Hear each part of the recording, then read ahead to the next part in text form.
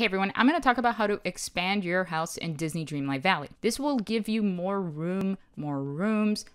You know, it's really necessary. It's really necessary for the game. It's the most important part. In order to do it, you're going to want to go inside of your home and then take a direct left. There's going to be a magic elevator to your left. And once you step on it, you're going to be able to pay money to expand your home. There's quite a bit of expansion options, and you will add rooms after a certain point in this as well. Oh, and while you're watching this, if you're looking to upgrade the house because it does look like it's in shambles when you first start, you want to go to the Scrooge McDuck sign that's on the outside of your house and upgrade it that way. Then just change the flooring inside and the walls, and it will look actually nice.